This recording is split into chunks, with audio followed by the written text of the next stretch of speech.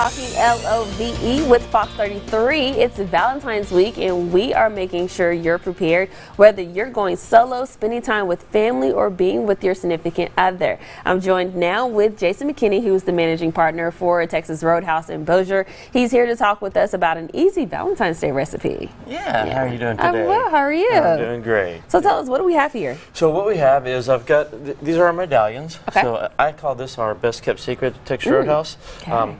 so what happens is when we cut filet, sometimes you get towards the end of the loin and you have some small pieces. Instead of just wasting them, what Mm-hmm. we do is we make three small steaks out of them. They're three ounces. So Oh. you get little uh, three three ounce fillets. So it's like little petite fillets. So it's Oh. really good. I like that. I like good. that.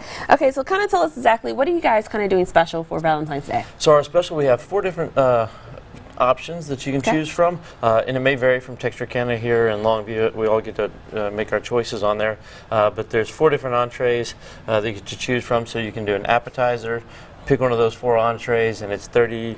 Nine ninety five. yeah, thirty nine ninety five. I was like, uh, thirty nine ninety five. So that's our special. Okay.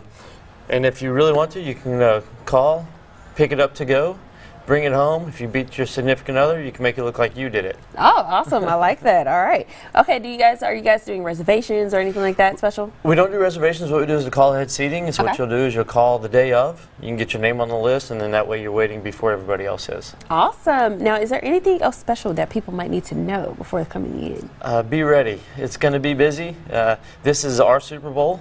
So I know Super Bowl was last week, but uh, this is our Super Bowl in the restaurant business.